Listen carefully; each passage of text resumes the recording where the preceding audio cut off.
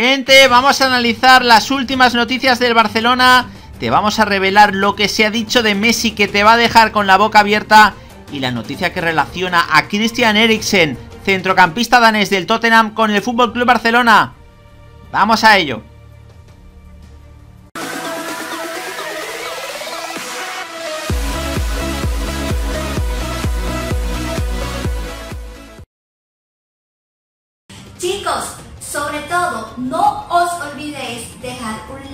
Video, de suscribiros al canal si aún no lo habéis hecho y de darle a la campanita para recibir más notificaciones cuando subamos nuevos videos y así estar a la última de las noticias del fútbol.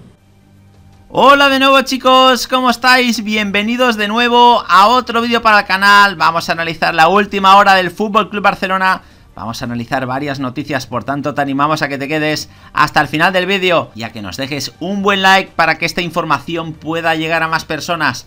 Vamos chicos, primeramente a analizar esta noticia y es que el Barcelona finalmente, después de un comunicado médico previo, ha confirmado el esguince que sufre el portero del Barcelona, Neto Murara.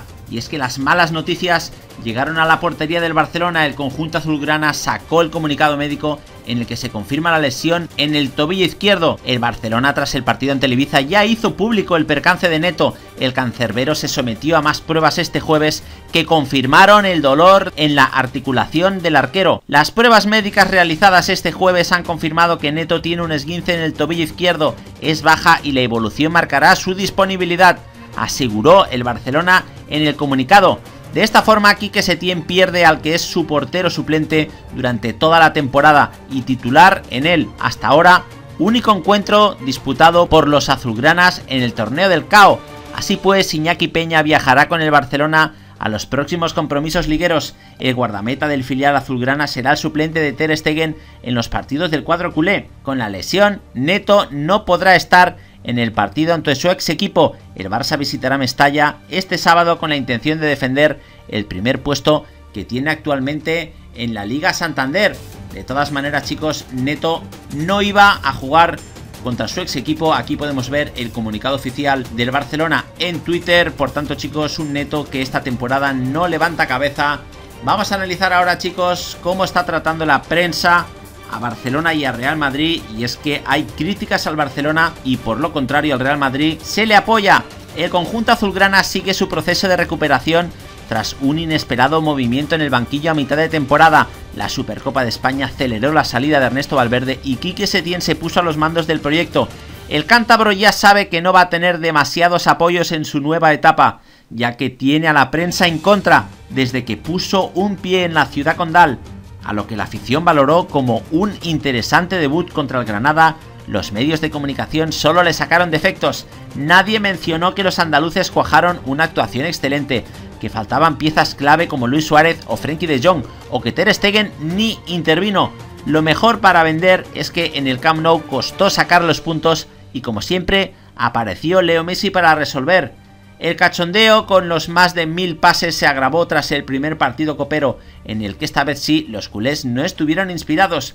Como había avisado días atrás, el de Santander modificó la alineación y no encontró lo que buscaba. Sus jugadores no se adaptaron ni al césped ni al 5-3-2 o 3-5-2 según se mire, y tuvieron delante a un adversario con poco que perder y una ilusión que le empujó durante mucho tiempo. Neto Murara y la Madera fueron salvadores, y a última hora apareció un Griezmann al que se fichó para marcar la diferencia. Al Barça no se le debe juzgar solo por la Copa del Rey, en la que la mayoría de grandes han pasado apuros. En las rondas iniciales se han producido varias sorpresas y el temporal no ha ayudado en un desafío que cuesta de asimilar a los participantes de la primera división. Obviamente esta es una obligación como cualquier otra y la batalla por los trofeos debe tenerse en cuenta, pero las circunstancias son particulares. El objetivo del vestuario es hacer oídos sordos ante las críticas y centrarse en un reto mayúsculo, el cruce liguero contra el Valencia, de este sábado en Mestalla. Los blanquinegros no pasan por su mejor momento y también tienen bajas de nivel, pero están entre los mejores equipos del mundo y siempre dan guerra en cualquier escenario. El pulso por el liderato estará en juego y la intención es dar otro pequeño pero significativo paso adelante, sin prestar atención a los comentarios negativos. En la eterna rivalidad futbolística, la prensa ya ha tomado partido y se ha decantado claramente por el Real Madrid. En España esta tendencia no es nueva, pero bajo el mando de Zinedine Zidane, de vuelta al Santiago Bernabéu para espantar una peligrosa crisis, se han multiplicado los seguidores merengues en los medios y han ido desapareciendo todos los que se atrevían a hablar mal de los capitalinos. La fortuna acompañó a los blancos contra los unionistas, pero no se insistió tanto en que su rendimiento no fue para tirar cohetes.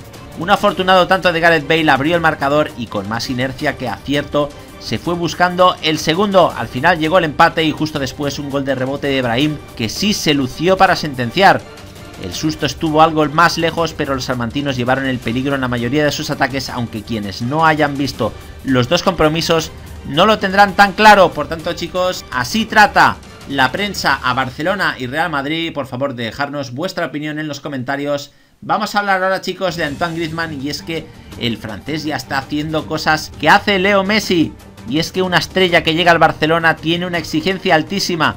Si a ellos añade que Messi eclipsa todo, el reto es doblemente curvo.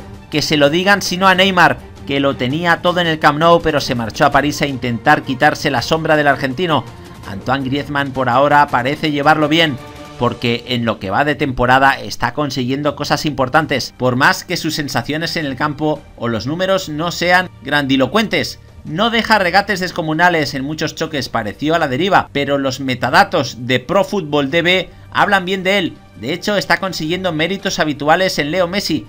Quizá el más sonoro lo consiguió ante el Ibiza el pasado miércoles. Más allá de que el rival no era para tirar cohetes, aunque en el campo demostró competirle más que de tú a tú a los azulgrana, él se echó el equipo encima para liderar la remontada. Dos manos a manos suyos acabaron en gol.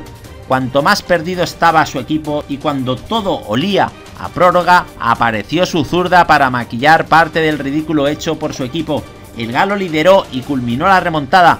Fue el primer partido de la temporada, habría perdido quitando sus goles, algo muy propio de Leo Messi. De paso, sirvió para consumar algo que el rosarino ni nadie en la plantilla ha podido hacer en este curso, marcar en las cuatro competiciones disputadas suma los dos de Copa, uno al Atlético en las semifinales de Supercopa, siete en Liga y uno en Champions. Por tanto, chicos, un Griezmann que poco a poco va cogiendo el tono en este Fútbol Club Barcelona. Vamos a hablar, chicos, del interés del Barcelona por Christian Eriksen. El mercado nunca deja de sorprendernos y es que cuando parecían todas las miradas puestas en quien puede ser el delantero que el Barça fiche para cubrir la vacante de Luis Suárez, desde Inglaterra irrumpe en escena un nombre nuevo para la agenda azulgrana que nadie esperaba por ahora. Hablamos de Christian Eriksen, centrocampista ofensivo de 27 años que acaba contrato con el Tottenham en junio y estaba en negociaciones activas con el Inter de Milán. Es más, se ha llegado a publicar en Italia que una exigua cantidad de dinero separaba a los Nerazzurri de su llegada, que ahora podría frenarse. Cuenta Sky Sports que desde la entidad catalana habrían preguntado por Daniel Levy, por él para ficharlo en este mismo mercado invernal, no supondría un gran desembolso, pero obviamente no es la prioridad ahora mismo del equipo de Quique Setién que busca un delantero centro, aunque podría tener la lógica ante la escasa fluidez del juego ofensivo de los culés y la falta de jugadores de perfil creativo, claro en la plantilla, además de tratarse de una oportunidad de mercado. En las siguientes horas veremos si se confirma la que puede ser una de las sorpresas del mercado o se trata de una medida de presión para el Inter de Milán. Y es que aquí chicos, en este tweet de Sky Sports News podemos comprobar el interés del Barcelona en Christian Eriksen.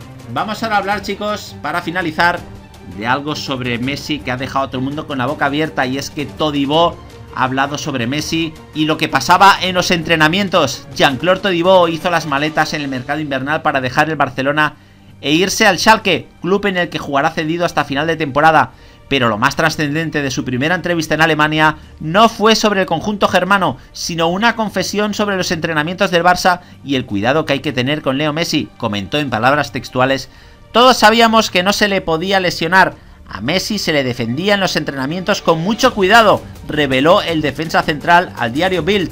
Todibó también reconoció que aprendí mucho junto a Messi e incluso le robé algunos balones, con cuidado de no lastimarle.